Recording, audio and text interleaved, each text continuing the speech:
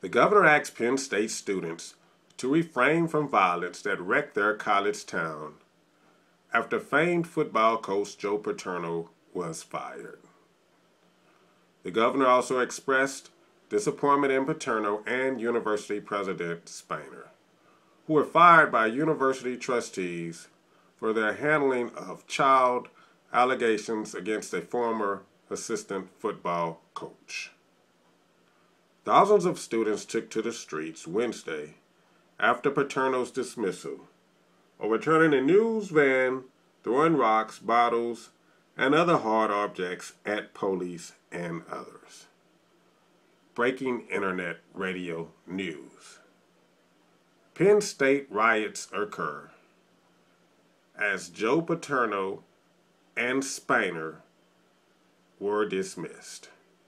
You hear it here first.